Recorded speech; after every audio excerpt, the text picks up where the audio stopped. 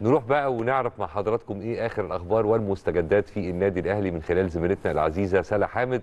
سلا موجودة حاليا في فرع النادي الأهلي بالجزيرة. يا صباح الخيرات عليك يا سلا اتفضلي.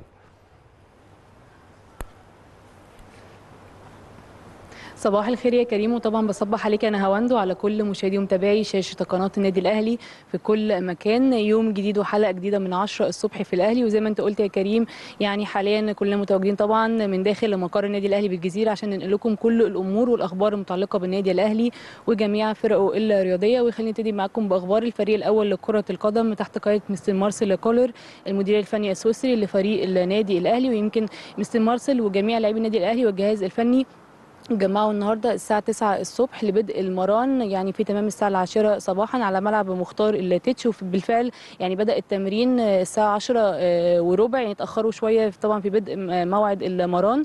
ولكن لحد دلوقتي يا كريم ونهاوند يعني ما زال المران مستمر على ملعب مختار التتش كل اللاعبين النادي الأهلي بيأدوا التدريبات سواء البدنية أو بالكرة بشكل طبيعي. كمان قبل المران مستر مارسيل كولر اجتمع مع جميع لاعبي النادي الأهلي والجهاز الفني للحديث عن الفترة المقبلة.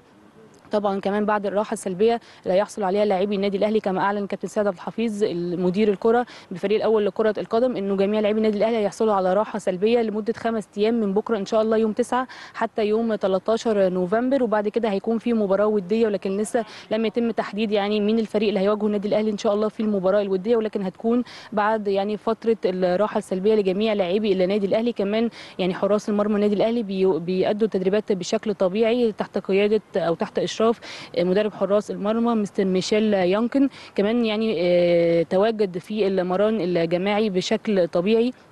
اليو ديانج بعد ما تعافى من الإصابة متواجد في المران وكان بيؤدي التدريبات بشكل طبيعي مع جميع لاعبي النادي الأهلي كمان عمرو السولية ورامي ربيع متواجدين على هامش المران بيأدوا بعض التدريبات الخاصة بالبرنامج التأهيلي للتعافي من الإصابة سواء يعني في الملعب أو داخل الجيم تحت إشراف أخصائي التأهيل طارق عبد العزيز. ده بالنسبة للفريق الأول لكرة القدم. خليني بقى أروح لجميع الألعاب الأخرى.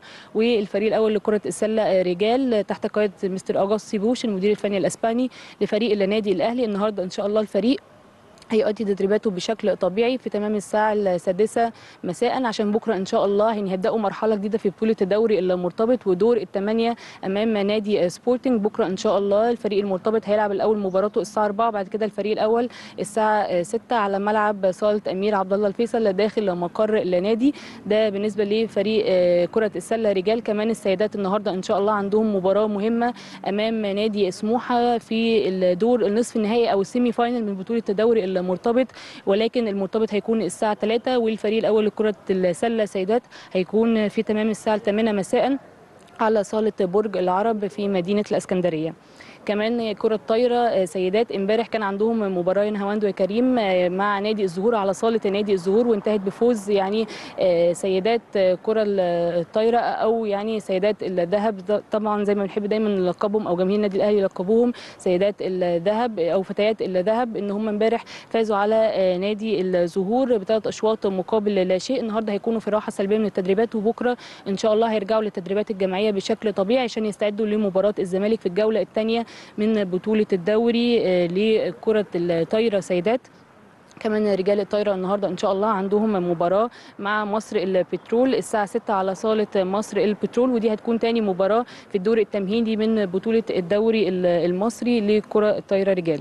استكمالا لجميع أخبارنا النهارده. كمان النهارده إن شاء الله هيكون في مباراة مهمة في ال semi final لبطولة كأس مصر في قطاع الناشئين 2006 وهتكون المباراة دي ما بين النادي الأهلي وزد في تمام الساعة الاثنين ونص أو ثانية ونصف. دي هتكون بالنسبة لقطاع الناشئين والمباراة دي يعني هتقام ما بين فريق الأهلي ونادي زد على ملاعب الكرة في فرع النادي الأهلي بمدينة نصر. دي المباراة اللي هتكون ال semi final لبطولة كأس مصر. كمان عندي خبر يعني مهم جدا يا هواند وكريم لكل عضوات النادي الأهلي داخل مقر النادي الأهلي بالجزيرة إنه لجنة المراه تحت قيادة أو برئاسة الأستاذة أنهار أندير رئيس لجنة المراه أعلنوا عن بدء حملة يعني للتوعية من سرطان الثدي.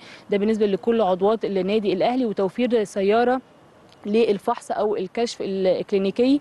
آه، ده لكل عضوات النادي الأهلي والكشف ده هيكون بالمجان. إنه طبعا يعني الغرض من الكشف ومن ال- ال- الحملة دي هي التوعية من سرطان الثدي وإنه آه، ده في إطار مبادرة سيادة الرئيس عبد الفتاح السيسي لدعم صحة المرأة المصرية. فإن شاء الله الحملة دي هتكون موجودة من النهارده حتى الأسبوع اللي جاي يوم الثلاث القادم لمدة أسبوع من الساعة 10 للساعة 5 العصر. وبعد كده إن شاء الله يعني بعد انتهاء الفترة دي لجنة المرأة هتعلن إن شاء الله يعني عن بدء نفس الحملة دي سواء في فرع النادي الأهلي بمدينة نصر أو فرع النادي الأهلي بالشيخ زايد. يمكن دي يا كريم ونهاوند كانت كل أخبارنا النهارده المتعلقة بالنادي الأهلي وجميع فرقه الرياضية. والآن العوده مرة أخرى للاستوديو مفيش أي أسئلة فيه بس كل الشكر ليكي زميلتنا العزيزة ساره حامد على هذه التغطية المتميزة.